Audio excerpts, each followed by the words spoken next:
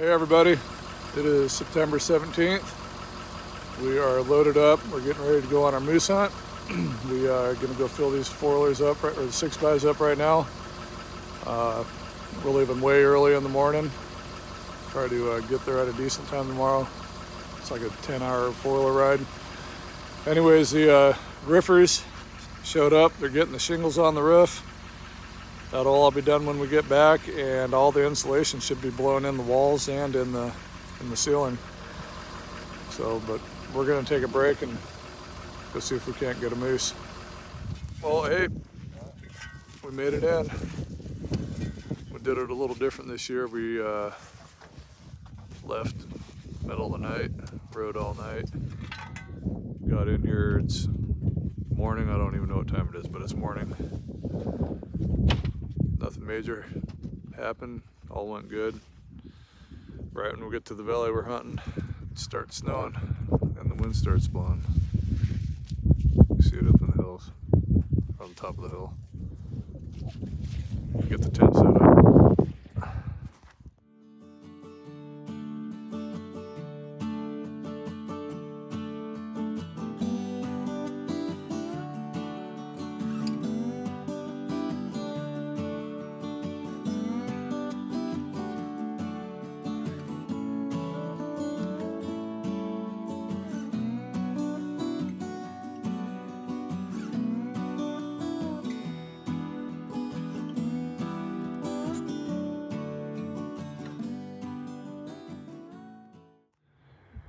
Well, we got everything set up. Enough for uh, us to be able to take a nap. We're all pretty whipped. We're gonna lay down, take a nap for a couple hours. Let's see if we can find us a moose.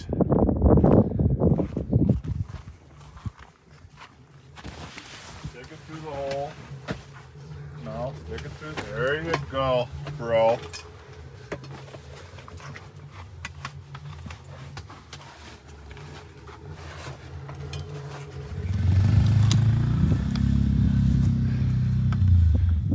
Our rifles are on. One of them, the one the boys shoot, the 270 was off. Anyways, that's how much gas we hauled in.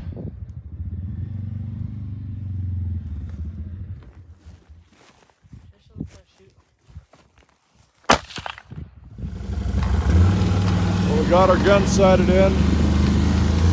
It's about 5.30.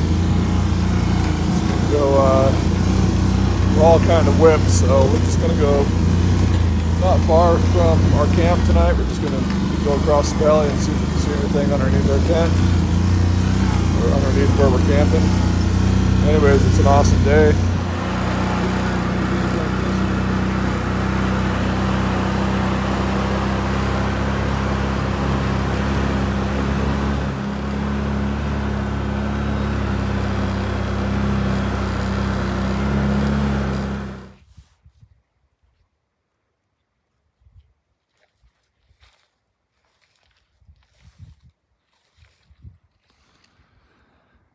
Yeah, we're pretty slow moving today. Late night, long day yesterday. Just gonna do some calling from camp, pick up around camp. Just hunt this valley right here, right in front of us. Maybe haul some firewood.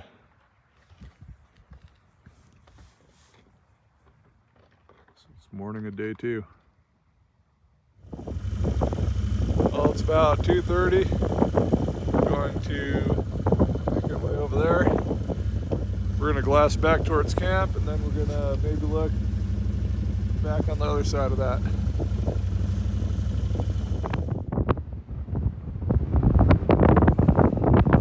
It's a little windy.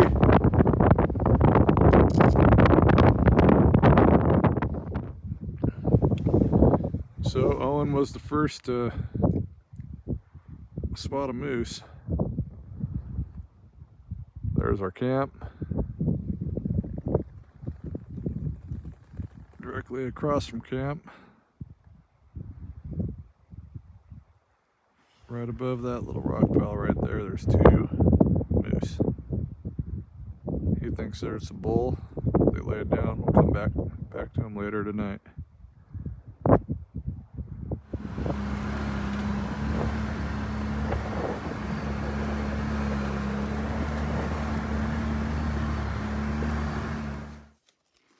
We just got done eating a couple hot dogs. We finally uh, confirmed that the moose that Owen saw, the two moose that Owen saw, was a cow and a calf.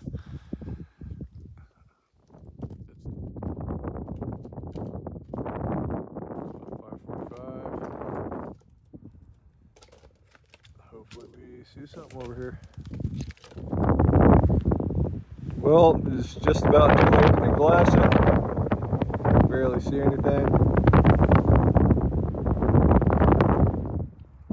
Anyways, Dad and Aaron got a pretty good fire going over at camp.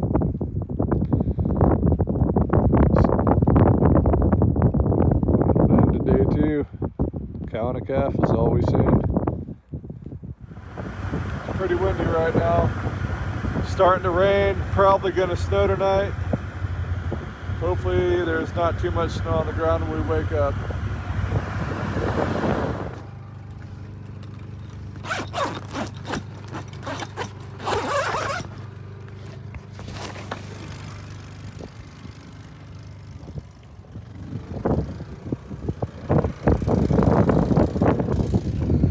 Morning of day three. Can't see anything. Stuck in the tent this morning. Supposed to be a bit snowstorm moving through here, not as big as what we had last year, just three or four hours. Then hopefully it clears off again. Well, it's finally starting to clear up. It's 2.30. I'm gonna go up over the hill over here and see what's on the backside.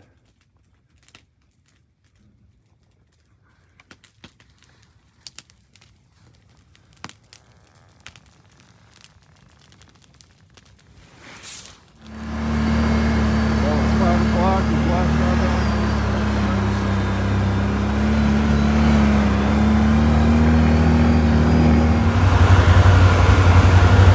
Oh, the fog rolled in again, so we're gonna head back to camp.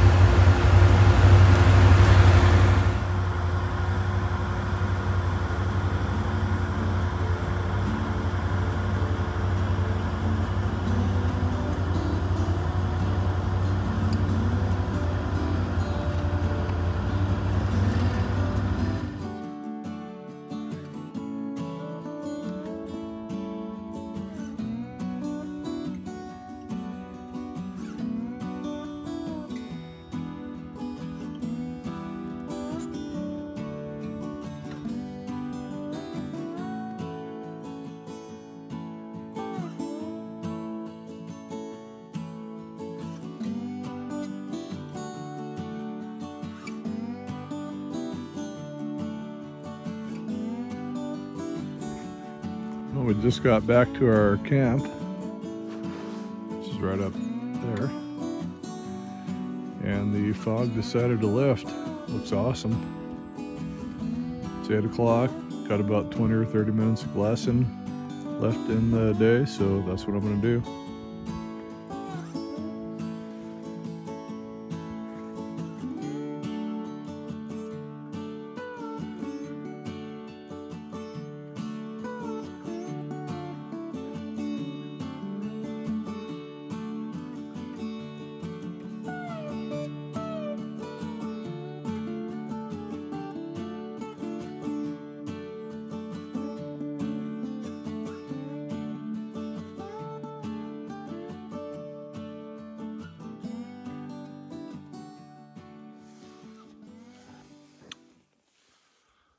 Well, we're wrapping up day three.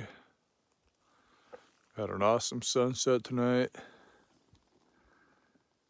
You can see the mountains behind me. Probably looked a lot better in person than it did on the camera, but anyways, it's very slow this year. We have not seen a whole lot of moose. We've seen a cow and a calf. And normally hunting here, we would see probably at least five to ten bulls 20 cows. I mean, 10 cows. I don't know. It's just, it's way slower than normal. We don't, we have not seen a bull yet. So, it's pretty. We'll keep trying.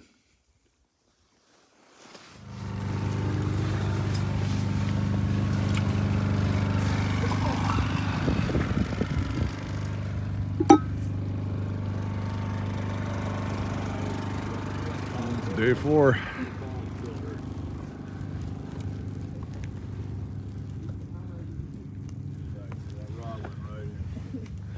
Some glassing in this morning.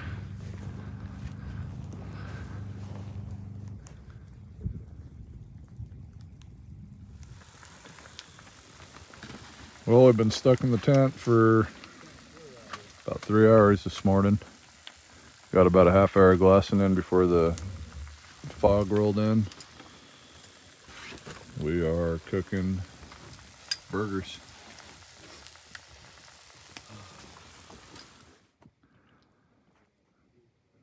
Well, it's 12:30. Still socked in here.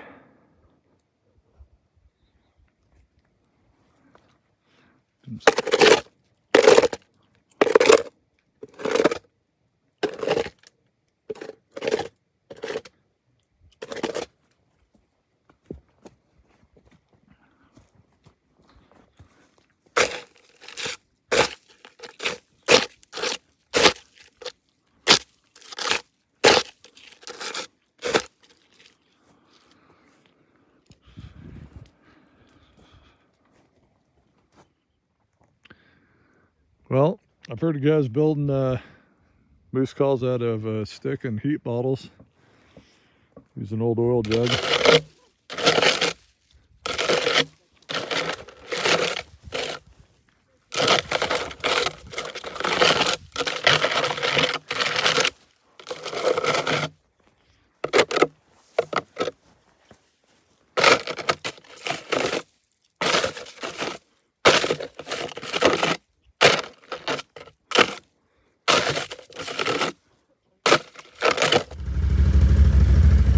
About six o'clock.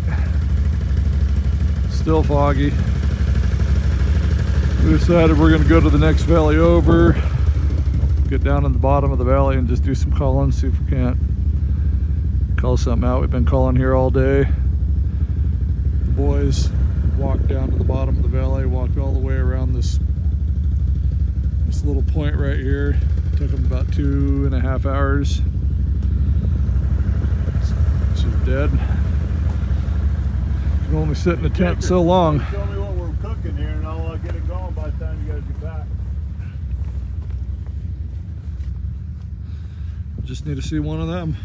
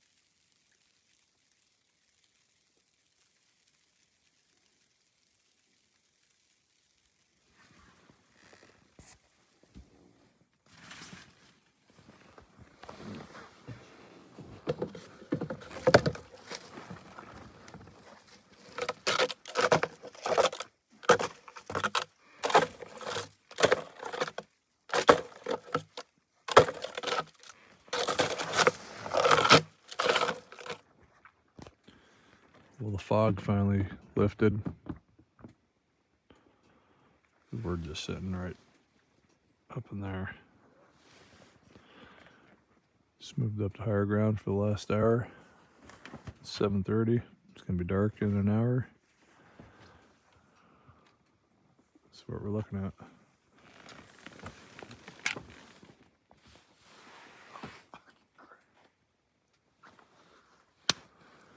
Well, we just spotted two cows. That's good. See right there in the middle of the screen. There's another one right up in there.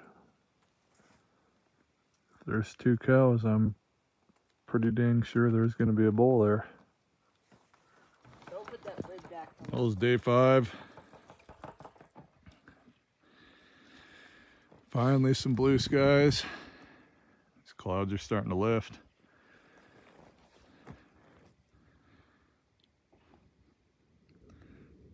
We're gonna get everything, all the chores done around camp here that we got to get done, and we're gonna head over to that next valley over where we saw those two cows yesterday.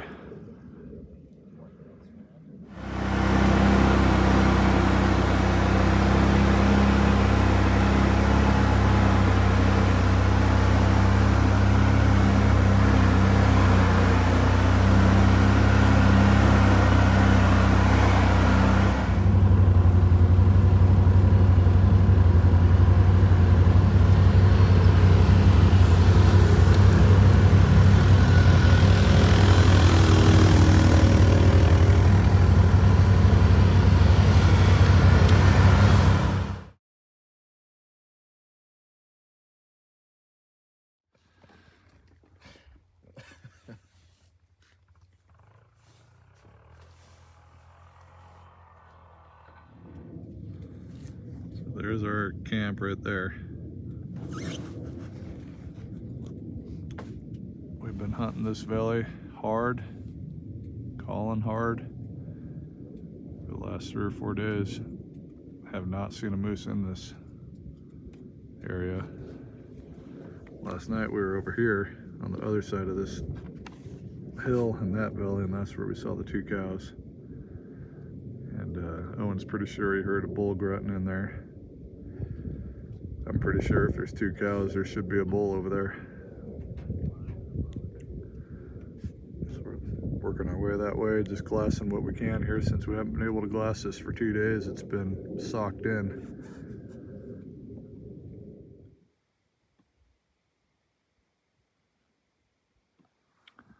A Couple cows. No bull yet.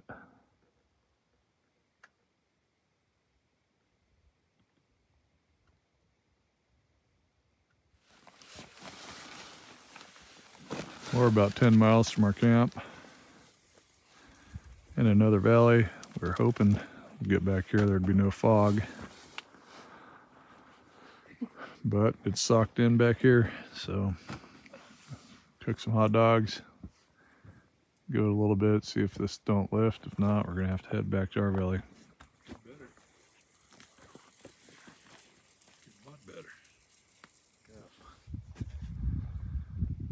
Fog finally lifted. We were doing some calling from right over there. And we had a moose start calling back to us somewhere down, down in that. And then Dad saw right when we pulled up way down right there. There's a cow. He thought he saw a bull down there. That'd be pretty tough to go get.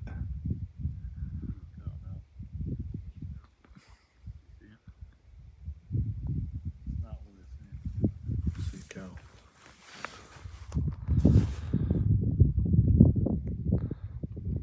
Been glassing here for about an hour and a half.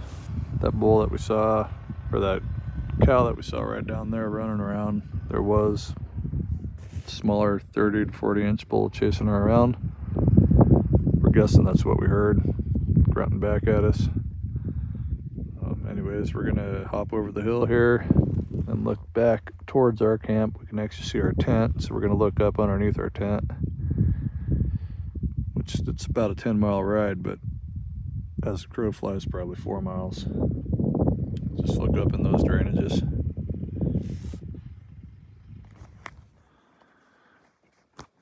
Well, we decided to come back to our valley.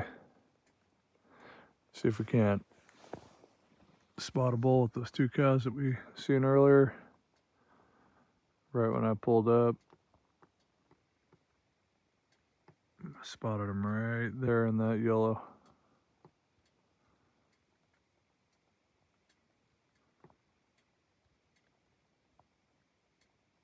No bull with them. So at least the moose are starting to move. We haven't seen a whole lot. We saw one bull.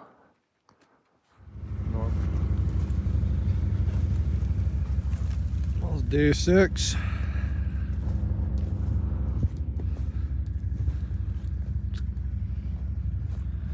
Pretty nice out here.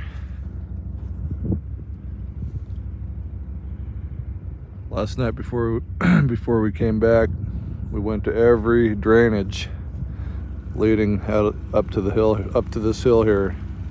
And uh, we called hard down every single drainage.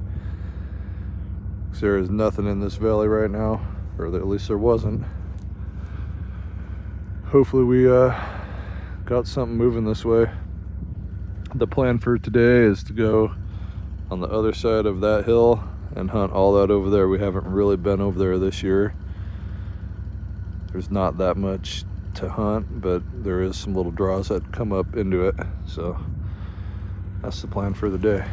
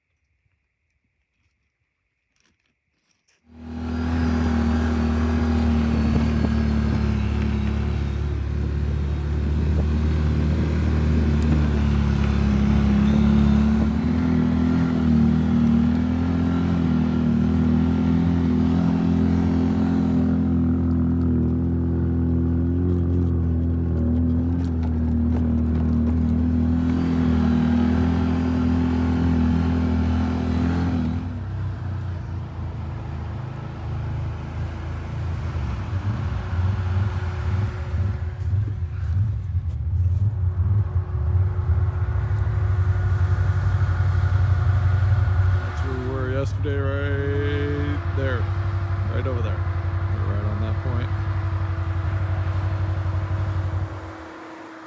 We are covering a lot of ground.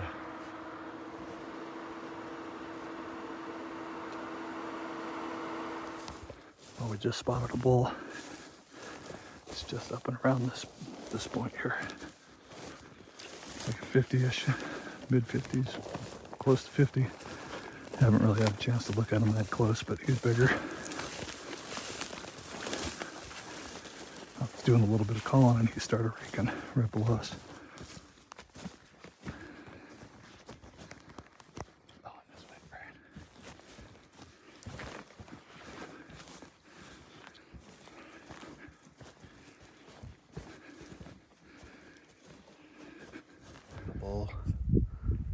It's right right there.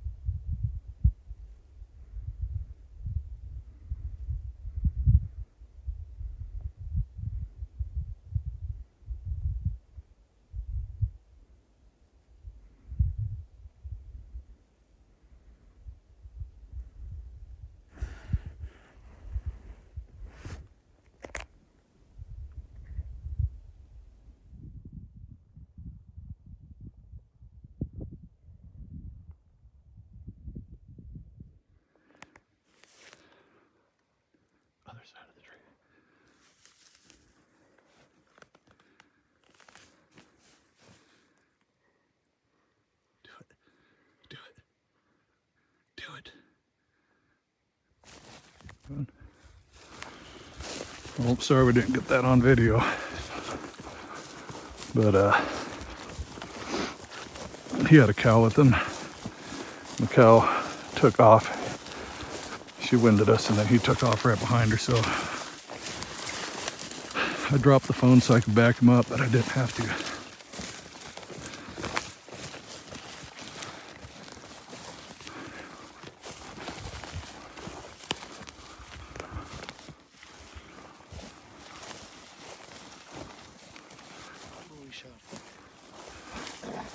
Hold on. Aaron, chamber?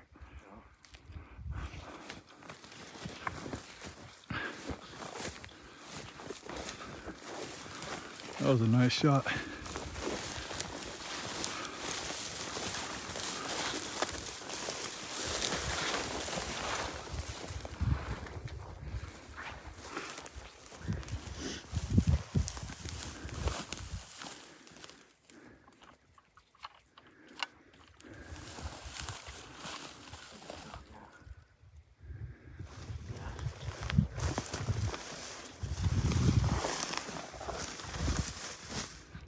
There it is. We looked hard for this guy. It's not the biggest one we've ever taken, but we'll take it. It's the only decent sized bull we've seen so far.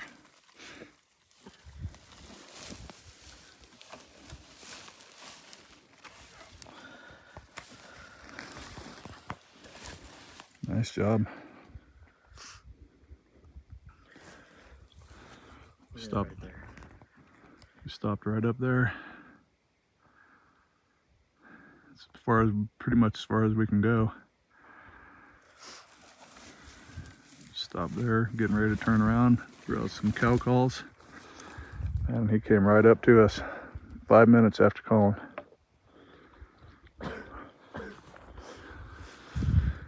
Oh, sweet.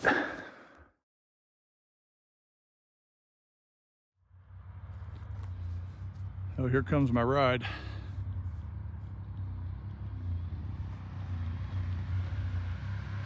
Oh, they brought my six by nice. I'll have to go get it.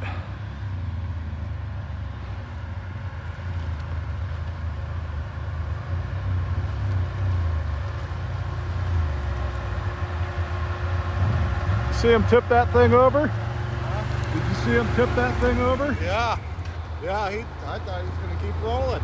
Well, I couldn't tell how steep that was. I thought maybe he was rolling.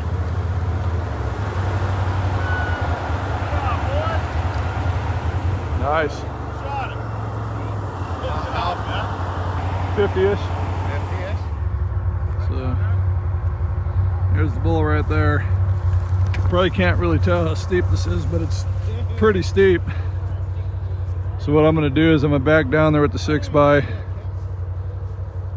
hook, hook a strap up to it, and then Jake's gonna hook a strap to me and we're gonna try to pull him up here where it's a little more flat.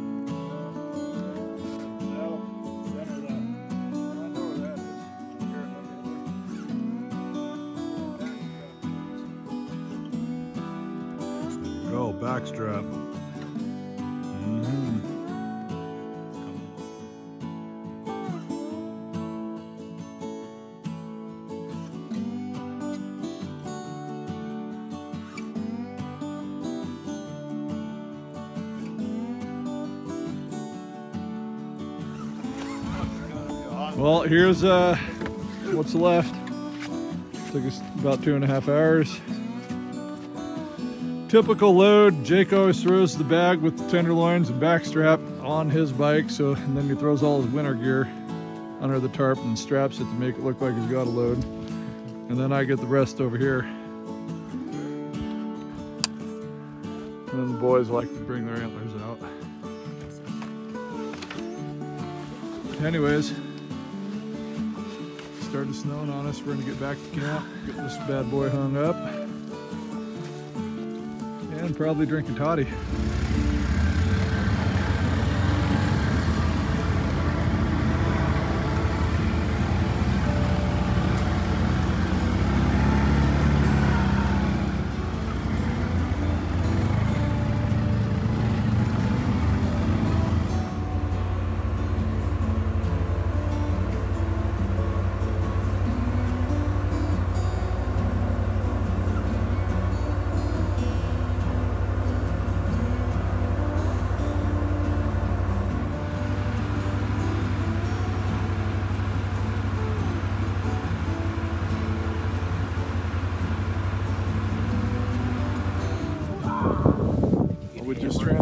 All the meat into my six by. Jake's had a nut come off it on the other side. I might have a nut to fit it. Think we can just push it up by hand? That holds the trailing arms on. He took it off. Take it off, pull it through, back and forth. Everybody's got their toolbox. What we got the tools and nuts and bolts.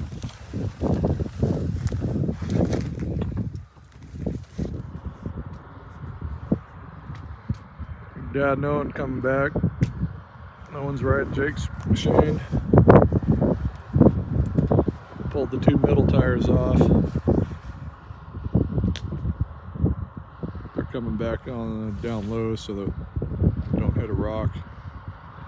Bend the cal or uh, bend the uh, disc or break the caliper off.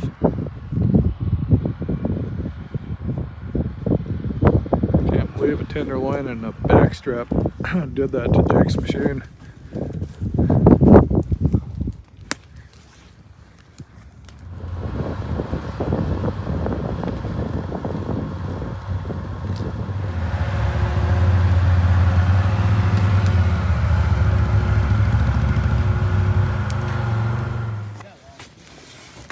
Got the, the bolt pulled out.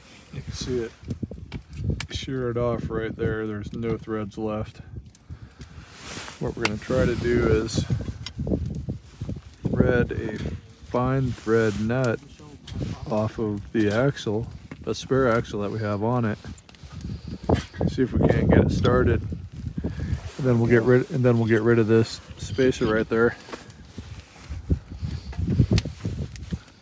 get out. My go. So it also broke the axle. We do have a spare axle in here, so let's see if we can pull this one off while we got that. Well, we're getting ready to hang up this meat.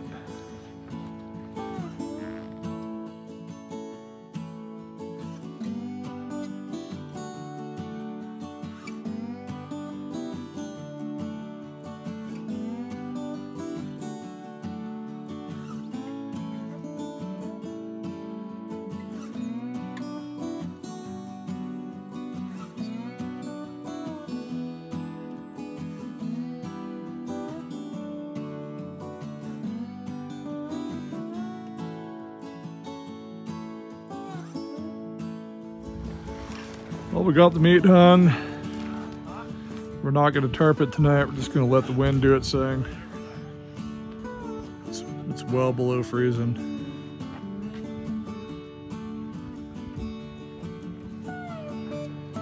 Tomorrow morning, we're gonna get up and try to get Jake's machine fixed good enough to get out of here. Might get a one in tomorrow afternoon. Get out here the next day.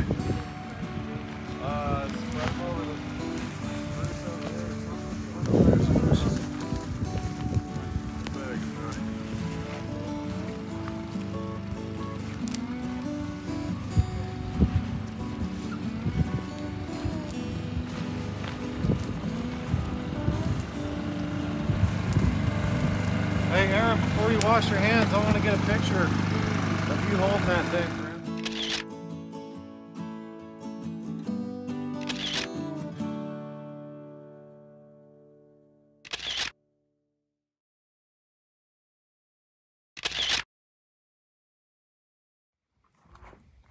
Well, we decided we were getting out of here today.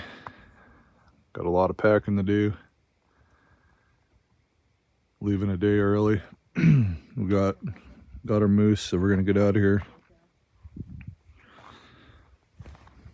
Still got to fix. Still got to fix this six by.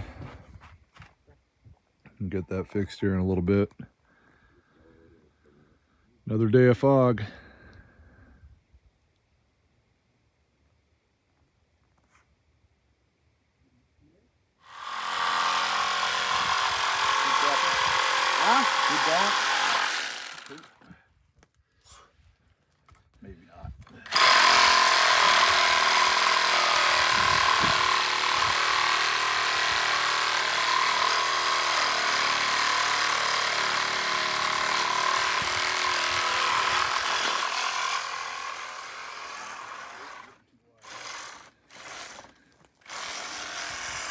We missed the last day.